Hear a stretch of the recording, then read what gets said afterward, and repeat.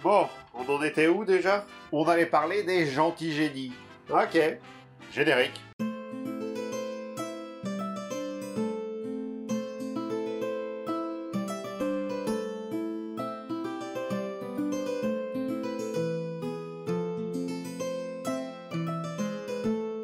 Salut à tous, est-ce que vous connaissez Shantae? Si les jeans ont une grande influence dans la pop culture, principalement dans les jeux vidéo, étant utilisés dès qu'on a besoin d'une troupe dans un jeu impliquant un pays vaguement arabe, il y a bien un jeu qui met en avant les génies comme personnages principaux. Ou presque. Cette série de jeux, c'est Shantae. Eh bien, pour vous parler de la création de ce personnage, on doit retourner en 1990 avec la fondation de Way Forward, qui pourrait dire aller de l'avant, mais qui est surtout un jeu de mots avec le nom de son créateur, Voldy Way. Mon oncle, j'ai un trait d'humour. Le studio va commencer sa carrière en faisant des compilations de jeux, dont Fun Pack pour PC, ou, si on regarde bien la jaquette, on peut y reconnaître Pac-Man. Alors qu'il n'y a pas du tout Pac-Man dans le jeu. Il y a Chomp, un clone de Pac-Man. C'est malhonnête ça, monsieur Way. D'ailleurs, c'est pas le seul, puisque Breaker devient Block Breaker, Astéroïde devient Hyperoïde, et Tetris devient Embliss. Au final, sur les 7 jeux, il n'y aura qu'un seul original, Jewel dont voici un extrait du gameplay. Ils ont bien fait de faire des clones finalement. Tu comptes aller quelque part avec tes histoires de clones ou bien? Oui, parce que Way, il va pas en rester là. Puisqu'à la suite de ça, il va nous sortir Fun Pack 3D, à savoir seulement 4 des clones du Fun Pack original, mais en 3D. L'autre grosse marque de fabrique de WayForward, ce sont les jeux tirés de licence, et là, on a de tout. Que ce soit le petit dinosaure, Sabrina l'apprentie sorcière, la famille Bernstein, le roi scorpion, Godzilla, ils ont même fait un jeu sur le catch, WWF Betrayal, où l'on peut admirer ce magnifique rock en pixel art. Du bonbon pour les yeux. Ça, c'est le Pecto Boom Spécial Drag. Et enfin, Casper le petit fantôme. Et c'est ce jeu qui va nous intéresser. Parce que le jeu, il a été designé par Matt Boson. Et Matt Boson, il a une femme, Erin.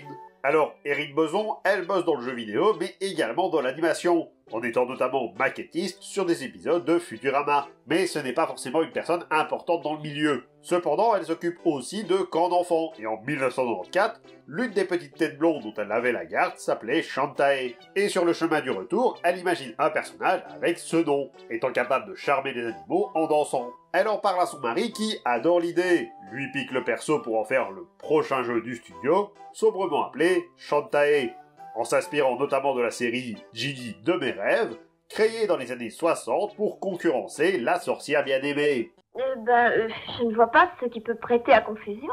En s'inspirant également pour son design des œuvres de Miyazaki, de Nadia, le secret de l'eau bleue, ainsi que parce que je ne peux pas passer à côté de cette inspiration.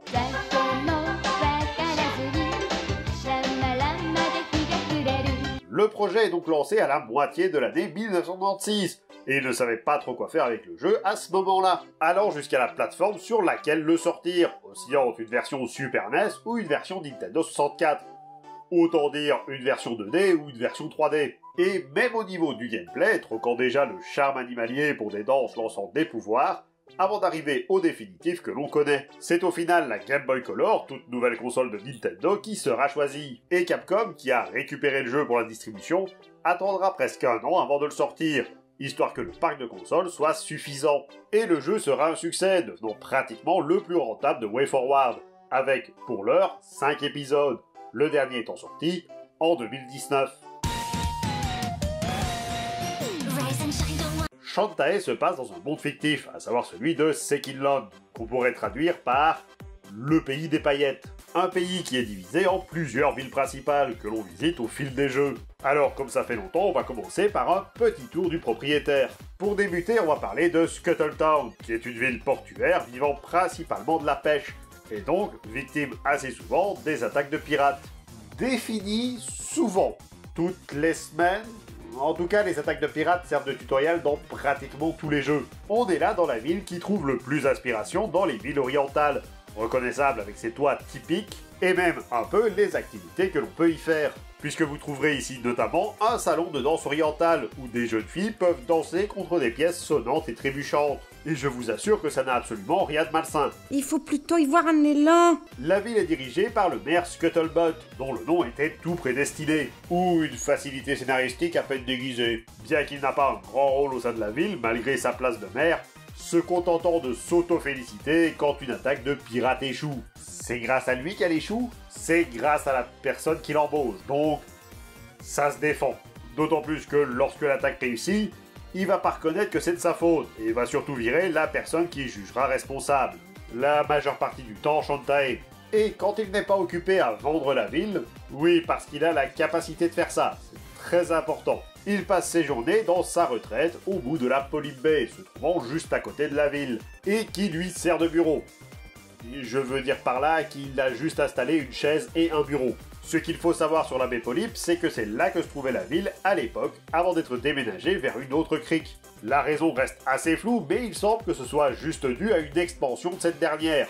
Ce qui fait que le phare de la ville est le dernier vestige de cette ancienne cité. Les autres villes, quant à elles, sont beaucoup plus sommaires. Et on va commencer à l'est avec Watertown, une ville qui est basée sur l'eau. Alors, on s'est déjà moqué du nom des villes dans Full Metal Alchemist, mais les gars chez Way Forward, c'est pas les plus imaginatifs non plus. Contrairement à Scuttletown, on est ici sur une ville avec une forte inspiration grecque, avec ses maisons et ses colonnes. Les colonnes, c'est les machins que vous avez piqués aux Grecs, hein La ville aurait également été bâtie par un peuple aquatique, à présent disparu, ce qui explique également pourquoi il y a des détritus un peu partout.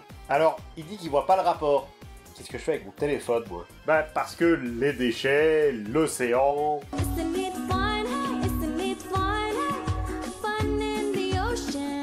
En traversant le désert, à l'ouest de Scuttletown, on tombe sur Oasis Town, qui est sans doute good, mais tu peux pas comprendre. On revient ici dans une architecture qui nous ramène vers l'Égypte. Pas grand chose à dire de plus sur cette ville, si ce n'est Gecko, l'un des habitants, qui tient une sorte de casino antique à base d'un insecte qui doit monter au sommet d'un pilier. Il savait s'amuser à l'époque. Et enfin, au nord, Bandit Town, qui est, comme son nom l'indique, un repère de bandits. Et il n'y a pas grand chose à dire dessus. Architecturalement, ça ressemble à pas grand chose de connu, et le seul lieu un peu emblématique, c'est un bar qui sert de repère à tous ces villes gredins. Alors, même si ici on se retrouve face aux villes du premier jeu, ce n'est pas pour autant que ce sont les seuls. Par exemple, entre ces quatre villes se promène la caravane zombie, un ensemble de roulottes habitées par des zombies. Mais des gentils zombies. Genre par exemple, vous avez Rooty Top. Mais sérieusement, est-ce que vous trouvez pas que ce perso il est juste trop choupi? Tu parleras de tes penchants nécrophiles une prochaine fois. On peut revenir à la vidéo de base? On peut, évidemment, si je vous parle du monde, c'est pas juste pour faire le guide touristique. C'est surtout parce qu'à l'époque, il était protégé par des génies, empêchant les monstres d'attaquer les différentes villes. Malheureusement, au fur et à mesure que le temps passait, les génies ont commencé à être moins nombreuses. Les habitants ont donné deux explications à ça, soit on les a enfermés dans des bouteilles, soit elles sont retournées dans leur monde. Oui, je dis elles parce que les génies dans l'univers de Shantae, ce sont des Scylla, une autre famille de génies qui avait la particularité d'être en majeure partie des femmes. D'ailleurs, on ne croise aucun génie mâle de toute l'histoire de Shantae. À l'heure actuelle, à notre connaissance, il ne reste que 4 génies encore en vie à Sekinland, les gardiennes des pierres élémentaires, et qui sont emprisonnées dans les temples qu'elles sont censées garder. Emprisonnées par qui? Oh, on s'en fout. Mais si les génies ont quitté notre monde, qu'est-ce qui l'empêche d'être détruit par les forces du mal? Ben, au fil des années, les génies ont commencé à s'enticher des êtres humains, et de leur union est née les demi-génies.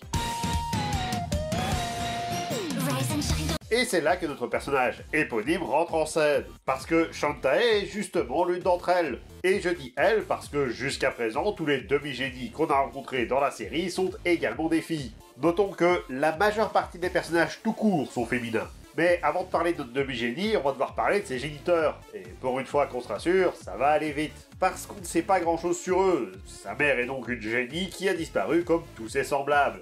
Il y a même des rumeurs comme quoi elle ne serait plus de ce monde. Oh bah nous on nous a même dit que vous étiez mort, alors... euh, Cette information, on la doit au maître pirate, un ancien ennemi de Sekinland, qui a terrorisé la région il y a bien longtemps, et dont son emprisonnement sur une île déserte est dû à de nombreux génies qui y auraient donc laissé la vie. Cependant, d'autres informations données plus tard semblent indiquer qu'en réalité, elle est toujours en vie. Si on sait très peu de choses sur la mère de Shantae, c'est parce qu'elle est un véritable moteur pour notre génie. cherchant désespérément toute information sur elle et sur pourquoi elle l'a abandonné. Mais son père aussi l'a abandonné. Très bonne transition puisque là on va parler du papa. Et là encore on sait pas grand chose sur lui puisqu'il n'est jamais mentionné. À moins que. À moins que. Ok, là ça n'a rien d'officiel mais.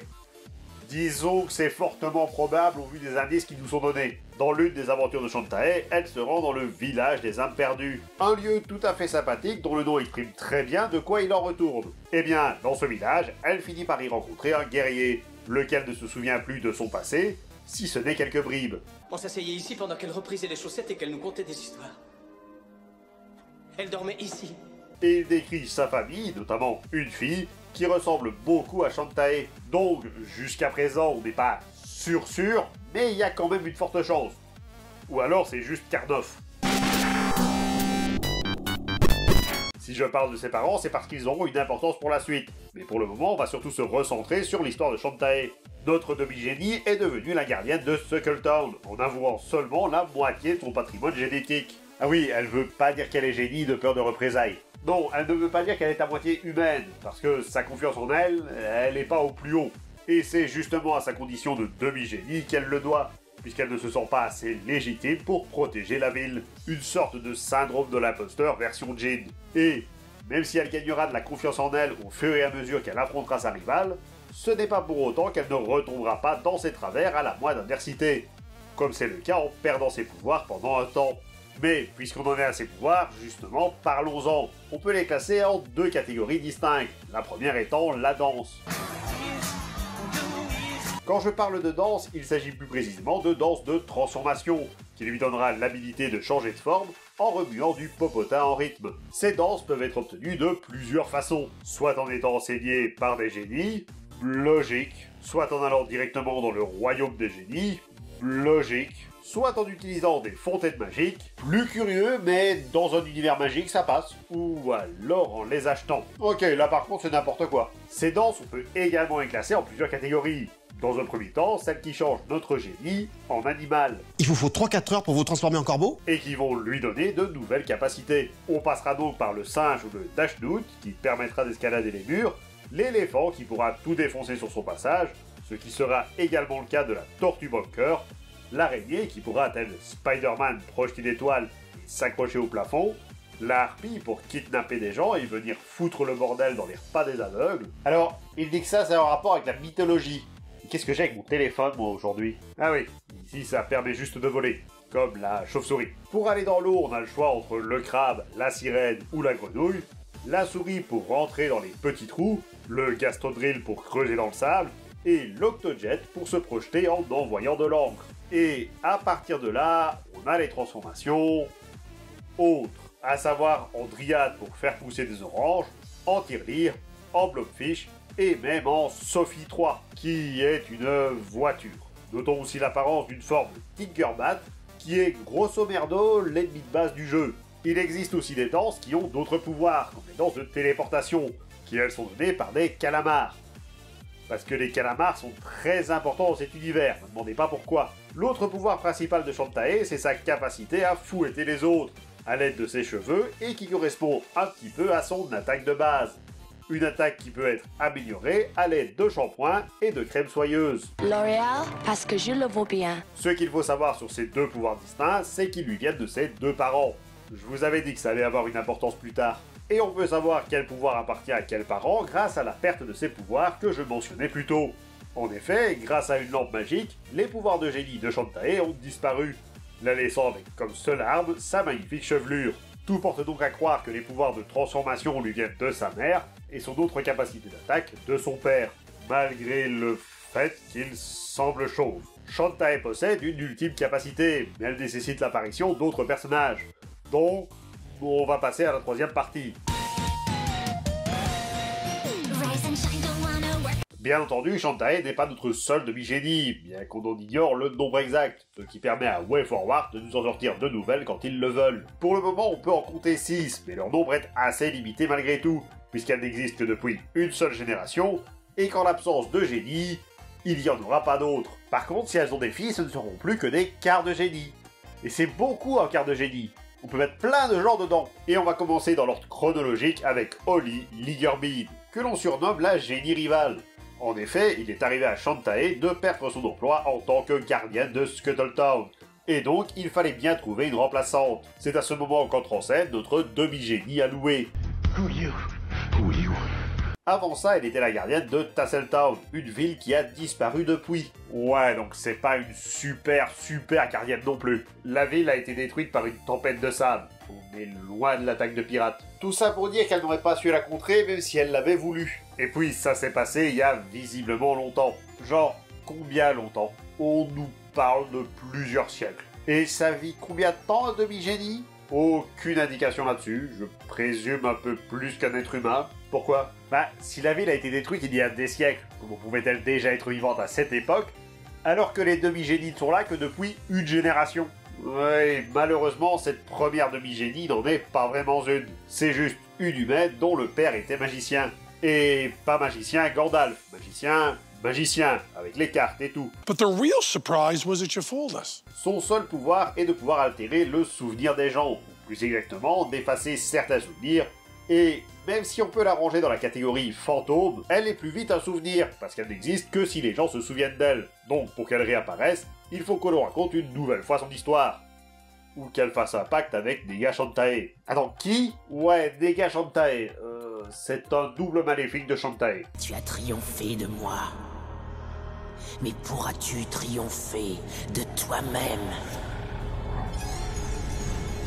Qui apparaît lorsque la magie de notre génie est convertie en magie noire, ce qui n'est jamais une bonne idée. Par exemple, c'est cette magie noire qui permet de ressusciter le maître des pirates mentionné plus tôt. C'est une version plus puissante que l'original, mais qui pourra être battue par le pouvoir de l'amitié. Donc c'était un petit aparté sur une demi-génie, pas tellement demi-génie, on va pouvoir passer aux autres. Pour la plupart d'entre elles, elles semblent être les gardiennes de Paradise Island. Quand je dis la plupart, c'est parce que sur les 5, c'est dit explicitement pour deux d'entre elles, et sous-entendu pour une troisième. La plus âgée d'entre elles est Harmony, qui agit pour toutes les autres demi-génies comme une grande sœur. Elle est d'ailleurs sans aucun doute la toute première hybride génie humain de l'histoire. Et de ce fait, elle possède un album rempli de messages des génies, destinée à leur progéniture magique. Et comme on l'a dit, elle est potentiellement la gardienne, soit d'Arenaton ou de Sukan City. Pourquoi elle serait potentiellement une gardienne? Tout ça à cause de sa mère.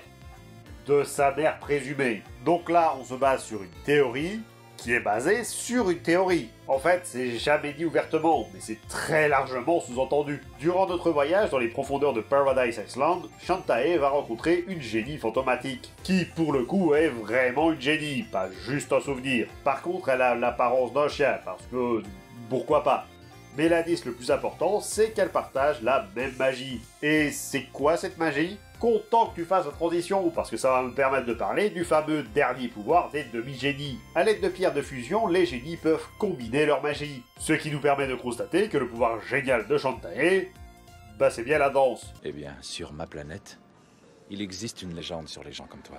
Ça s'appelle Footloose. Puisqu'en fusionnant sa magie avec celle d'harmonie, ça donne la danse du tremblement de terre, ce qui donnera à Shantae cette forme de guerrière enflammée. Moi aussi, je cherche toujours le rapport entre la terre et les cheveux en feu. Une magie qui pourra facilement modifier le terrain. Zappel est en elle la gardienne d'Armor Town, et est reconnue comme étant plus observatrice que ses congénères. Elle remarque assez vite quand les choses ne vont pas. Mais par contre, niveau déduction, c'est pas trop ça. Parce qu'elle se plante de coupable. There we go. Sa magie est celle des étincelles, et donc liée à la foudre, avec l'application la plus évidente, celle de recharger des batteries. On choisit pas son utilité. Et vu qu'on est toujours un peu dans n'importe quoi en termes de forme, ici Shantae se transforme en une sorte de poisson. Parce que quand on pense électricité, on pense forcément à eau. Alors, théoriquement, c'est inspiré de l'anguille. Alors, dans ce cas, depuis combien de temps les concepteurs n'ont pas vu une anguille on continue avec Vera, qui est connue pour partir à l'aventure avec un chien dans une camionnette appelée la Mystery Machine. Mauvais perso. Ça alors? Ah ouais, cette Vera est la protectrice de Tree-Town. Et c'est ce qu'on appelle dans le milieu une pistonnée. Parce que son papa n'est d'autre que le chef de la ville. C'est également la plus timide qui préfère rester cachée à défendre la ville de son père plutôt que de la quitter. Sa magie, c'est la magie de rafraîchissement, qui donne la forme mi-génie, mi-racine d'arbre. Et c'est le pouvoir qui fait le café, parce qu'il peut soigner, purifier l'eau, dépétrifier, ou encore faire pousser des plantes. Ça peut même guérir la fatigue. La plus jeune d'entre elles, c'est Plink, qui semble ne pas venir de Paradise Island, et qui est également la plus liée au monde des génies, parce que son pouvoir, c'est celui de la voyance. Alors, rien à voir avec la divination, ici on parle de rendre visible le monde invisible, donc le monde lié au djinn. Rappelez-vous la première vidéo. Et je vais même pas essayer de décrire la forme de Shantae, voilà le truc, faites-vous votre propre description. Et enfin, la dernière, Philine, qui a la particularité d'être une demi-génie et demi-zombie, ce qui est totalement inédit dans le monde de Shantae. Malheureusement, on sait pas grand chose d'autre sur elle. Bah, tu pourrais au moins parler de sa magie. C'est compliqué parce qu'elle a pas de magie à proprement parler. C'est un génie qui a pas de pouvoir. En quelque sorte. Ok, qu'est-ce que tu caches? Oui, bon, ok, il n'y a pas de cinquième demi-génie. Philine est en réalité Rudy Tops, déguisé en génie pour se faire des amis. D'ailleurs, il ne peut pas y avoir d'hybride génie-zombie, parce qu'elles ne se sont reproduites que avec des humains. Bon, maintenant que tu as présenté les gentils génies, on peut revenir à cette histoire de lampe? Tu sais, tu devrais sans doute prêter un peu plus attention à ce que je dis. Pourquoi? Bah, tu risques d'être déçu en trouvant la lampe. Parce que les génies sont retournés dans leur monde, c'est ça? Alors, pas exactement. D'ailleurs, il en reste encore au moins Paré pour la partie 4 Ok, mais après, tu me dis où est la lampe Je vous remercie d'avoir regardé cette vidéo et j'espère qu'elle vous a plu. N'hésitez pas à commenter, liker, partager, à vous abonner pour ne manquer aucune des prochaines vidéos. Vous pouvez également me suivre sur les réseaux sociaux. Moi je vous dis à très vite. C'était le Grim Squeaker pour vous servir.